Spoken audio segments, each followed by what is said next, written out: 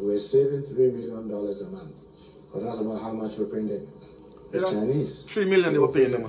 Now, it was difficult. And, and I tell you, we love the Chinese, but even the operating manuals were in Chinese. So all you have to do is just sit and just look at them.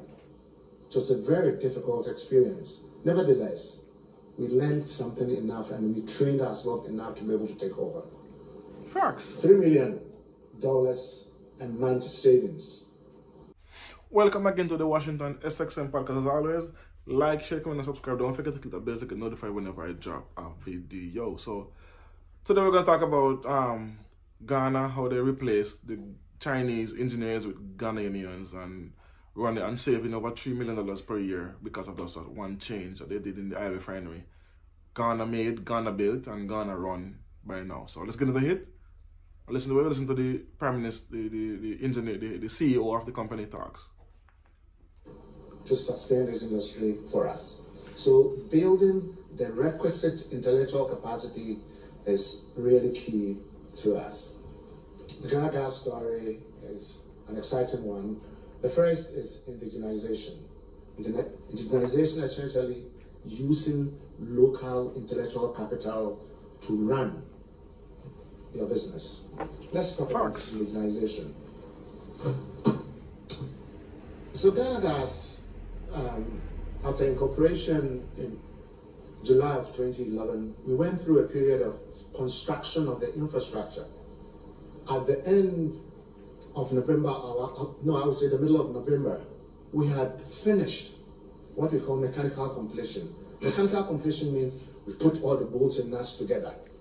Everything Yep. seems that was in November of 2014. Then we went through a period of commissioning. It took about six months. So by the end of April 2015, the plant was fully commissioned and the pipelines attendant to the plant also were. All this time, the plant was being operated by Chinese.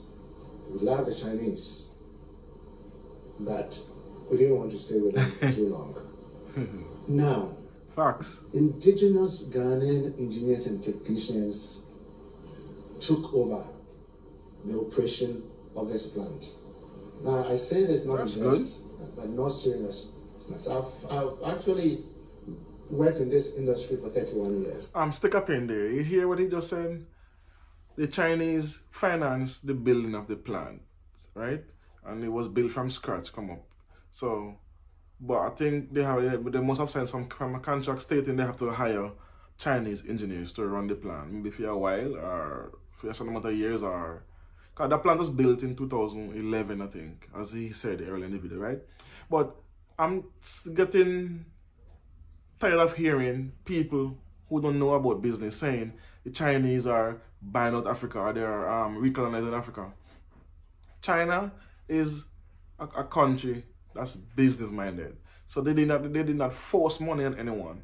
If you would take the money on your own to in the country to do something, then you have to repay it. If you don't, then there's clause in the contract that says, okay, I will take this, I will take that. But you have to use a head as a finance minister of any country to not sign a deal with the Chinese. So I don't really blame them for what they're doing, but you have to be the the, the, the countries have to be more smart and um, the finance ministers of those countries have to be more smarter how to um, sign deals with sign deals with China. Cause look Ghana did and look what they did. China take over the plant. Not China, I'm sorry, my bad. Ghana took over the plant and running it fully be fully run by by Ghanaians right now. So let's continue before I go any further in this. In this. Let's continue. And then both Canada and the US and a host of other countries. This is the first time that I've seen a turnaround. In other words, having foreign operators cede operatorship to indigenous engineers and technicians in the shortest time, three years. And this was March of 2017. That all, all those who were operating our, our plants and pipelines, those in the control rooms, Listen up to this part. operating floors, our storage facility areas, all Ghanaians. In comparison, or to put it in context, it took our friends in Trinidad and Tobago 40 years to fully hmm. cede or assume operatorship of their infrastructure in Trinidad, Point Lisas, Nigeria, our neighbors. Took them 50 years. It took our Ghanaian young engineers, men and women, technicians, three years. I think they deserve Damn. now. Of course. Yes. Stick up, stick up in there again. And I see that. I think that's what and this applies to the Caribbean as well. Like I'm Jamaican, this applies to Jamaica because Jamaica have the Chinese um, doing a lot of business in Jamaica and they are doing things that is not so on the up and up. But I blame the government for that. I don't blame the Chinese and other Caribbean islands. So you hear what they said? They took what the, the the Chinese did with other countries, like for instance, Trinidad, as in mentioned, I didn't even know that. Trinidad, Nigeria, and a couple other countries in Africa does, and cause a couple other countries in Africa, right? So all you have to do is take what you know from and learn from other countries that made the mistakes and you don't make those same mistakes. Uh, as I said, it's a business deal, so naturally, if you're gonna sign a contract, Remember now, business is about projection. When they're doing business and taking loans, it's about projection. They're projecting what they're gonna make and what they can what they can make and what they cannot make. So that's how they give a loan. So if you know you're gonna take say seven hundred million dollars from the Chinese to, to do a project, you have to make sure the the company that, that business can turn over that cash to repay that loan. So you don't have to hold the Chinese no no um any you don't have to hold them any favors, basically, right? So they don't, they don't, they don't have to go and take something. It's like, it's like a bank. If you can't pay back, they want something as collateral. So that's what Chinese do with, even with Jamaica, because here Jamaica is running the Jamaican port. That's mean Jamaica took a loan, can't repay it, so the Chinese seize the collateral to make back their money, and then they will turn it back over, basically. And they, and they, they're, doing, they're doing this worldwide. So America is carrying the I'm doing this scare tactic saying the Chinese are doing um what do they call it? Debt um depth traps. I don't believe it's depth traps. But you know what, before I go any further, let me finish the video and then we can talk about it. Now, whilst we are at it, we're saving $3 million a month. Because that's about how much we're paying the, the yeah, Chinese. 3 million they were paying them. Now, it was difficult. And, and I tell you, we love the Chinese, but even the operating manuals were in Chinese. So all you have to do is just sit and just look at them. It was a very difficult experience. Nevertheless, we learned something enough and we trained ourselves enough to be able to take over. Facts. Three million dollars a month savings. That's what the Caribbean, the Caribbean islands must do including St. Martin, where I'm at, SXM is a French territory. To date, to date, and six years later, you see that we've also built solid intellectual capital, solid intellectual capital to sustain the industry. Since 2017. Successful full maintenance shutdowns. It's, it's just like taking your car and taking it apart and reassembling. And then it runs. That is no small feat. We've done three of those. That is also very significant. Very. It is significant. And no lost time to injury at the plant. Recently there was a car accident. But operations of the plant, we're talking about millions of man hours with no lost time to injury. That is also significant. You see, rounds of applause for that. Rounds of applause for that. That's that's good. We, have had people come from near and far, some from Switzerland, Italy, to come and just take a look at our plant. To come and take a look at our plant. How neat it is, how well run it is. Everyone there is a Ghanaian. These are the men and, and that's the key. Listen, indigenous Ghanaians. then some two men actually working on the valve over there as well. But when you go, and if you do have time, we will sponsor you.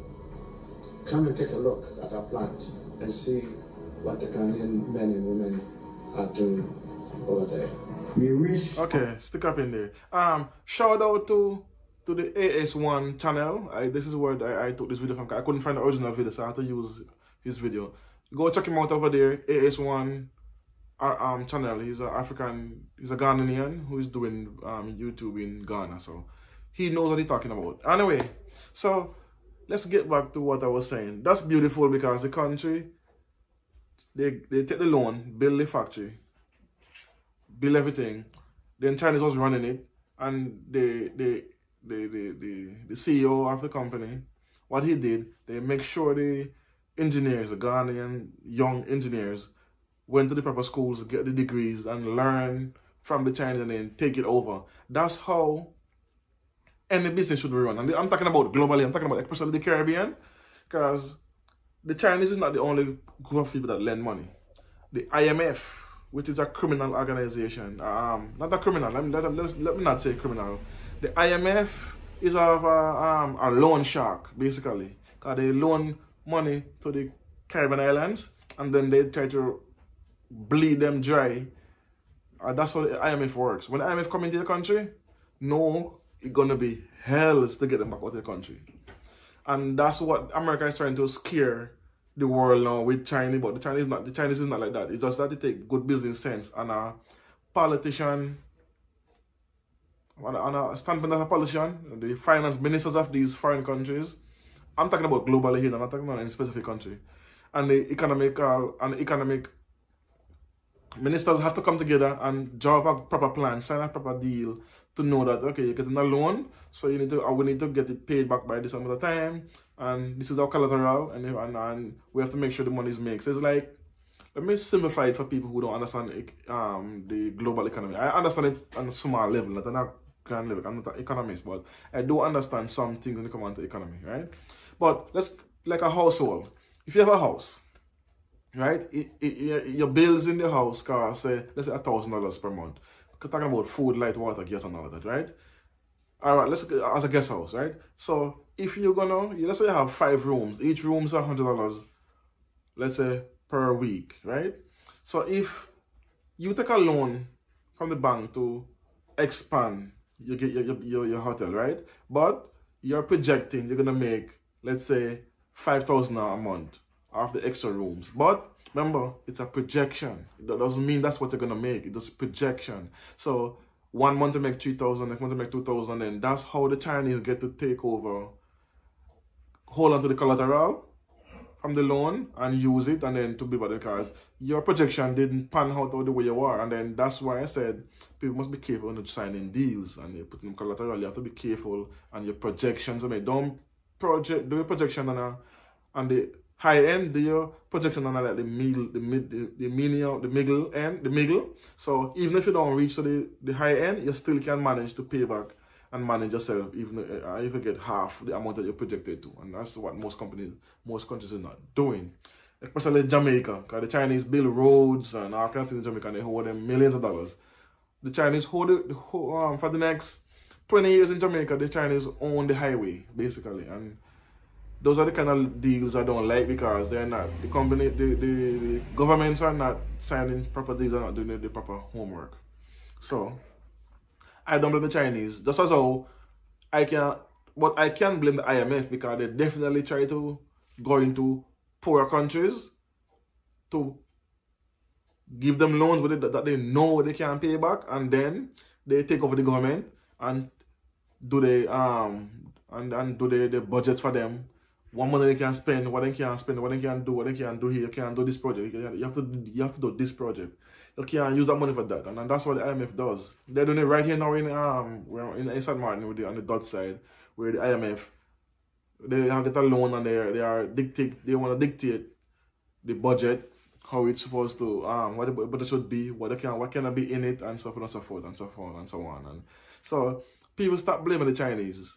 The Chinese are business people. You just have to be more you have to be smart when dealing with the Chinese. And like Ghana did, Ghana is one of the most, Ghana is one of the emerging economy right now in, in Africa. So they have, Chinese have spent a little over a couple, a few billion they have in Ghana, Nigeria, Sierra Leone, Ghana. Only, only country I think don't have any loan from the Chinese is Rwanda, actually. But um, um, I think over 20, ah, I don't want to be mistaken. I think the Chinese invest a little over 8, 50 to 70 billion in Africa right now they have. And America don't like that because, you see, America don't help countries to grow. America only send aid, aid to countries then to get favors in return. So if a country will need money to build something, they don't do it. What they do, they send aid, they send food, water, and Red Cross, which is another criminal, uh, which is another criminal um, um, organization, because they are a bunch of thieves, the Red Cross. Um, so that's what's happening right now with Africa, with America. They want to paint Afri China as a boogeyman, but they are not. It's just take. America is actually a boogeyman. They're the thief because they have been um, sucking the lifeblood of Africa. As I tell you, they don't give loans to African nations. They only send aids. So who the hell want aid? When they say we tell you we want cash, you sending aid. Well, we don't want aid because then now you send them aid, then say, oh, you, you become dependent on them because they're sending food, water, medicine, and all that for um they don't they, instead of building the infrastructure, they don't want to do that. They are there to make it dependent on them so they can use you when they want. So and most African countries right now is starting to realize that and, and, and rising up and putting a foot forward and putting telling America this is enough. We can do it on our own. America and France right now are on the are on the um the decline in in in, um, in Africa because of they're trying to use Africa. So Ghana, Nigeria, South Af- South Africa, Rwanda, all those countries are pushing back right now. The presidents are being good and pushing back on the Western world and for, for, for um, using Africa. They finally coming to their senses, and that's why I see you have so many emerging economies right now in Africa. So, hope you guys learn something today. That's the goal. Is to every time I do a video is to teach you, not teach. I don't want to be so um, arrogant. If I to learn something new about Africa, let's say that. So you don't know. Thanks for watching. You don't know. Don't forget to subscribe and help. It's a new channel. Help me to grow. So. Don't forget to click the like button as well. So you don't know. Peace. One love. Boom.